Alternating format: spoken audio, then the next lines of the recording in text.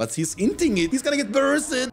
What is up guys and welcome to the Beyond Standard channel. My name is Shanks and today we are on the map Westfold for a 1v1 video commentary between two great players in a great matchup between Isengard and Mordor. I mean, first things first, this is a Mordor map, okay? Westfold, here, Mordor is a beast from the east. Because you have one, two, three, four, five settlements in total. It means you will get in total 25% uh, food bonus, which makes your structures cost way less. And keep in mind that orcs are for free too. And questionable move from the Uruks attacking the Orc Pit. He might be able to destroy it, yes, he will destroy it for sure, but, but in the meantime, Orcs are taking over the map. And now without the War Chant, this Uruks can't fight the 1v2 situation. And the opening from Isengard was Furnace into the Uruk Pit. So the Orc Pit is a Gunners, that's 100% certain. But the Uruks will take a lot of damage from the Orcs in the tower, and he will be able to get one more Orc out just in time. During all this time, Mordor was able to capture this, this, this, this, and almost this one too, and this one too. I mean, this guy will be super rich in this game. Isengard has only two settlements outside, Mordor has all the other settlements under his control and the orcs will, you know, chase you. That means this Uruks, badly damaged, won't be able to deal any more damage to the economy from Mordor, and he will just be able to replace the Orc Pit, which is, by the way, now very cheap, only 300. He will go for the Orc Pit number 2 now, and the tower is melting those Uruks. He's bringing more Uruks to Mordor, but remember what Boromir used to say, one does not simply walk into Mordor, not even the mighty Uruk-hai. I mean, that's a int right there, you know. He's inting those orcs. They will not be able to do anything against his tower without Eye of Sauron. And Isengard has the advantage that his units are stronger in a one-on-one -on -one situation and they are faster. But the problem is, there is not going to be a one-on-one situation anytime soon. Orc pit number 2, Orc pit number 3, and Orc pit number 4. I mean, this is going to be Mordor totally unleashed. Mordor actually performing incredibly well on the patch 2.22 against every faction. I mean, that is not a bad matchup because the maps we have in the map pool of the 1v1 battle arena are actually favoring Mordor quite a bit. We have Fangorn Forest, West Emnet, Westfold, Higurashi Forest. All of these maps are actually quite decent and great for the Mordor faction. And look at the minimap, boys. He has a Uruk Pit level 2 now. That means Berserkers will be a good choice to counter the Orcs. But look at the beast from Mordor. And now look at the base from Isengard. There is a huge gap in the, you know, in the economy department. The slaughterhouse here is going to be destroyed now by the Orc warriors, no problemo. In the meantime, Uruks are taking care of this lumber mill. They will be able to take it down. They need still a lot of experience to get level 2. And I believe this last spot is going to be saved for an eventual troll cage, which is good because trolls will give you uh, the safetyness, but usually you don't need this in this matchup. You can just straight up rush for an Nazgul, which Isengard can't deal with anytime soon. And trolls will, you know, cost you, the troll cage will cost you 1080, but also the trolls will cost you a lot because you have not the full food bonus, as you have only 3 slaughterhouses inside the castle, you will have to pay more for the tro trolls. But they are good when you are afraid of a potential blade rush, which won't happen in this game because the Eisen's ecom is not looking too hot and he has almost a power points for industry, which will be for sure quite helpful. Alright, Orcs level 2, quite dangerous. They will unlock the passive, which is the Black Orcs. They will deal 15% more damage. Industry has been used by the, by the Isengard player on this level 2 furnace. That's going to be quite helpful. His cash floating also a bit. Should be filling up the base as soon as possible. And what you also need in this matchup at this point of the game is definitely Lurtz. Lurtz will be needed for his leadership you need to actively try to level them up to level 5 to be stronger with your army. Remember, you will have to deal with lots of trolls and Nazguls and Witch Kings, and Lurtz's damage leadership is quite helpful in those situations. Berserker against the Orc Warriors. Take this. They have the splash damage too, they can hit multiple targets at once, and they are one of the most unique units in the entire game. And there is a dog who is not afraid. I'm not afraid. okay. I mean, the Berserkers are also faster than Orcs, so running away from them is not a really great option. You might also just stand still and fight. But remember, when they're out of combat for a bit, they will also start recovering their HP. And that's very important too because Berserkers are actually not very cheap. They cost 220 each. They are more expensive than the Uruks, but their recruit time is quite fast. From a level 3 Uruk you can get them out on the field in only 9 seconds. When you have money, you can outspam your Mordor opponent with one Uruk pit. You can outspam his 2, even 3 Uruk pits. Because all of them are still only level 1, and he needs to wait for 30 seconds to get those orcs up on the field. Many many berserkers around this location, and Isengard with the help of the berserkers actually being able to reclaim some of the map control. And yeah, this Lurtz is on the field for the trolls. The, the troll is a mean one, he will hit him once, oh my goodness, the damage is crazy. Now Lurtz has to be careful right there. But remember, he has always the cripple. He can cripple the troll in the worst case scenario, and it will deal a bit more than 50% of his HP. So here, maybe it's important to cripple him, but I think he will try to get away without doing this. Berserker here has to be careful. We have outpost control from Mordor. That's gonna be the first outpost, and Isengard was able to take the outpost at the top side. Building two battle towers around this location, and they're quite beefy too against orcs. And what you can also do, now in this version of the patch 2.2, you can garrison these towers. You can actually put crossbowmen inside of this tower, this tower, and also inside of the outpost citadel. That means you have triple archer here. They will melt everything that is coming. Orcs will have a very hard time to deal with this. Berserker killing those workers will be able to defend this lumber mill, but he needs to also replace some of the workers. Orcs on the hunt. Level 2 orcs, a bit different situation. On the land, they have also more armor. And the Berserker will be taken down. In the meantime, Lurtz is creeping quite a lot. He was able to creep the troll there in the middle.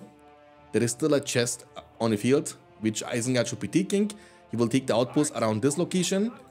And there are no archers inside the tower yet. So, but it's good because you can block this pathway, which is pretty good, and damage the orcs as they are trying to come from this location. What you could also do is go for a Uruk pit here at the outpost and keep pressuring this area non-stop, you know? Outpost control, double furnace into the tower. So Isengard is actually coming back into the game. But Mordor has a lot of money as we are talking. He has actually almost 8000 in the bank. And very soon, my friends, we will see the leader of the Nazgûls. The Witch King will be recruited in a bit.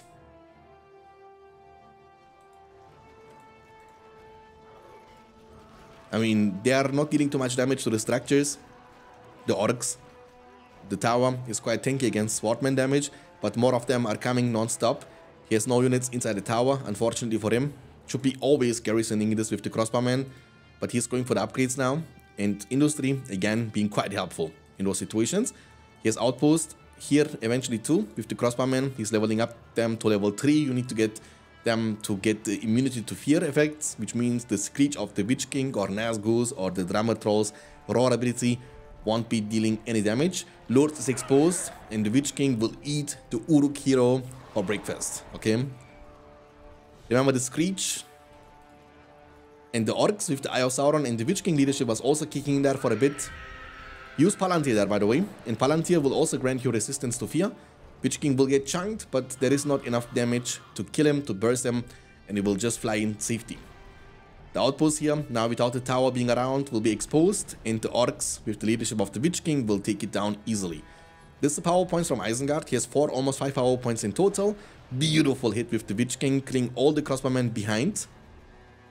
I mean, he's a tanky boy, you know? Everybody is complaining that Witch Kings and or Nazgûls are not very tanky, but they are not supposed to be tanky because their only weakness are fire arrows and arrows. No other unit can attack them. Tower finished, but the problem is there are too many orcs, so you need to, to shoot, shoot them twice, each of these orcs, you can't one-shot them, and as there are too many of them,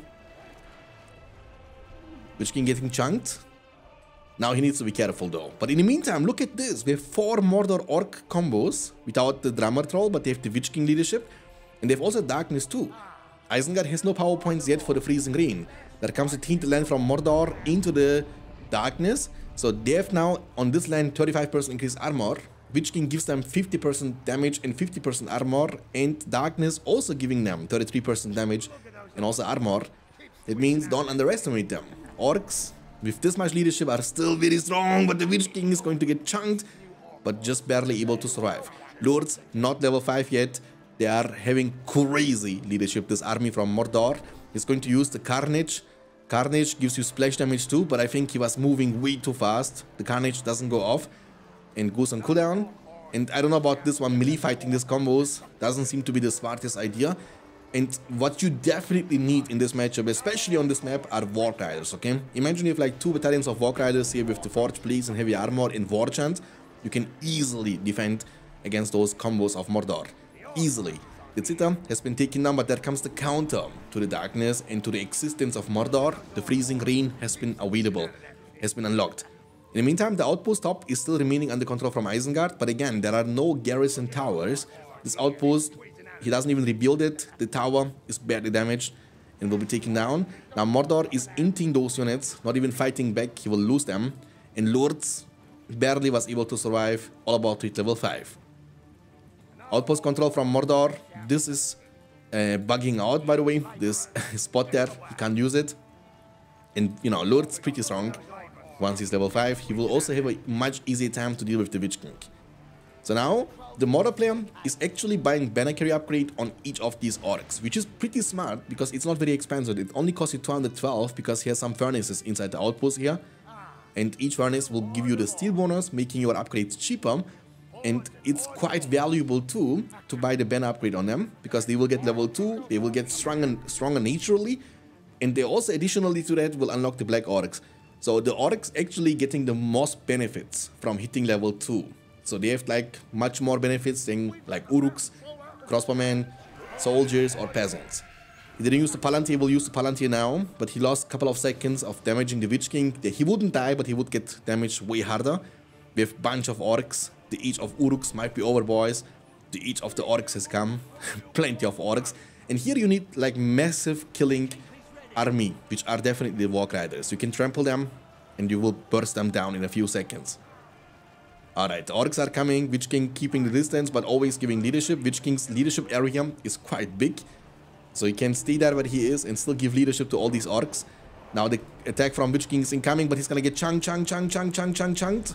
But remember there is no Drummer Troll leadership from Mordor and there is no Lurtz who was getting level 5 but he died.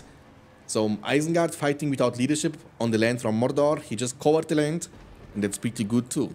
In the meantime, the outpost is under attack, but I think he's misclicking. He should be destroying the tower first, which will be enough to defend the day. Um, Mordor was in the meantime able to claim this outpost for himself. Now he has double outpost control, and 50% of the map is definitely under his control. Mordor's money should be pretty much unmatched.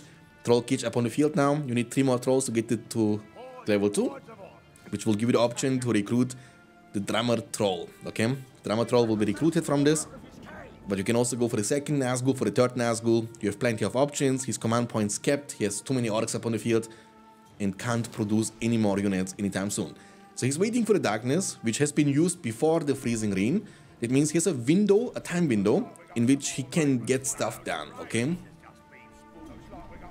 Slaughterhouse getting bursted down. Huge Isengard army though. Now we have up Saruman upon the field too. That's pretty good. Lurtz is all about to be revived. He has like long revive times with level 5. You need to wait 2 minutes and 30 seconds for him to come back. Which is pretty long in a fast moving game like this. Outpost at the top will be destroyed. But in the meantime, Mordor is going for a counter attack. So you wanna you don't want to trade outposts for your castle. But if this army comes to your castle, you will lose your castle. Your freezing rain is on cooldown. The army is pretty powerful. With the Eye of Sauron plus Darkness plus Witch King, they will melt through everything that you get, what you have. Even a level 3 Furnace doesn't stand a chance. And he knows he needs to retreat, he's coming there. Okay, no level 2 on the Orcs. Um, you don't get the resistance to fear, but you get still a huge benefit of damage and armor um, Witch King can't approach this now with this much leadership. They have also leadership from Saruman, but he's inting it. He's running it down. He's running it down, but Witch King is gonna run it down too. He's gonna get bursted. Too much leadership with the, with the Lurtz. Lurtz is in the front. Mordor could attack him, but he's not focusing the Lurtz. He would die in a few seconds. In the meantime, the Orcs are inside the base of Isengard, taking care of every single structure. Ladies and gentlemen, I think we can officially see it. The age of Uruks is over the age of the orc has come. Orcs everywhere, and still dealing heavy damage. A level 2 furnace will be destroyed. Remember, these are very valuable, high valuable structures. You can't just replace because every structure you will lose and try to replace will be level 1. It needs so much time to get to level 2. Level 2 gives you way more money compared to a level 1 structure. So keeping those level 2, level 3 structures alive is essential for the late game because in late game you need much more money than in early game. You need to get Uruk Pit, get this, get this. It's 600. You need to give them banner, heavy armor, fire arrows. These are so many upgrades and each combo battalion will cost you so much money. You never garrison these towers, which would be actually a pretty valid strategy in this. Oh, be careful, Lurtz.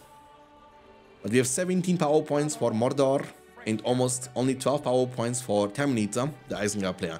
Because he went for the Devastation too, right? Devastation means minus 4 power points, so it would be 16 versus 17. So it's pretty even in the command points department when we consider the fact that Isengard also went for the Tainted Land, Palantir, and Devastation. Usually you don't need this, you can go this, this, this. But in, in this matchup you need also Palantir, because that's the only way you can get early resistance to fear. Otherwise you can't get it. Uh, Lurtz' leadership, the uh, pillage leadership is pretty good in all situations. You get money for killing stuff. You get 3 for each orc and remember you need to kill thousands of orcs. Now he's being, you know, once again surrounded. The Nazgul, not very tanky with War Chant and Lurtz's leadership, they will deal 110% more damage and the Nazgul will get one-shotted. Saruman is back in the business, still level 5, combos are recovering in the base. Isengard suffering a little bit. He has only one outpost under his control, Mordor has three. He's gonna send some Berserkers to the outpost, which has no defense. Witch King's revive time is quite long, 4 minutes in total. So if you lose him, you will revive him for free. But the time... Boom! Chakalaka! A Maia versus another Maia. In the meantime, Isengard will lose this fight big time. There are too many units up on the field. Balrog is inside the jeans, boys. And he is attacking the Orthanc. The Orthanc, seen as an indestructible structure, doesn't stand a chance against the mighty Balrog of Morgoth. And here comes the breath fire. His breathing fire, ladies and gentlemen, the dragon of Middle-earth taking over the game, showing the dominance of the late game Mordor on a map like this. I mean, there was not a single minute of the game in which Mordor wasn't controlling this game. Isengard is a counter to Mordor in the late game. Mordor playing the game without catapults, without too many trolls, and pretty much playing with Witch King, Darkness, and Orcs, with Orc combos. But still enough. 19 power points for Isengard. He has the power points almost for the Balrog too, but the problem is, if you have to use your Balrog defensively, it's a um, not very good situation. Witch King chunked from the cripple, but Lurtz might die over here. There is not much left that can shoot down a Witch King. Witch King just can ignore all of that and go for the Lurtz. And that's gonna be his plan. He's actually getting still chunked because quality beats quantity. Remember, there is a level 5 combat battalion and level 4. And they are pretty deadly in those situations. The castle of Mordor, I mean of Isengard, is all about to be destroyed. He has only two outposts under his control and he has no money left. Has Balrog available now from the spellbook, but I don't think that's gonna change anything. Because he's too poor. And he will end up losing this castle for sure, and he has no money to rebuy the castle. I mean, Devastation has been quite helpful, of course, you can use it over and over again. But Mordor, once he has the Call the Horde, which he now can unlock from his spellbook, uh, he will just lose all his army, click one button, this one, called the Heart. Increase production speed of Orc Pit, Haradrim Palace, Mumakil Pen, Troll Cage, and Siege Work by 175%. It's a very busted power point for the Mordor lead game because you can reproduce all your units, which is kind of like a great counter to Isengard too, because Isengard's Freezing Rain is only affecting the army which he currently has upon the field, but you can get a new army with the Cold Heart. Build me an army worthy of Mordor. And Mordor saying Westfold is mine. And he's indeed able to dominate the Westfold, whereas there is one wizard that stands between the victory of Mordor and the defeat of Isengard. a level 3 lumber mill, all map beside this settlement over here and this settlement over here. And he will leave the game knowing that he can't turn this game around anymore. Mordor dominating the map Vestfold. GG, well played. I hope you guys enjoyed this one. If you did, you know what to do. Smash that like button, subscribe for more videos like this in the future. I will see you next time. Until then, take care of yourself. Keep hitting like a truck. And as always, stay beyond standards. Peace out, boys.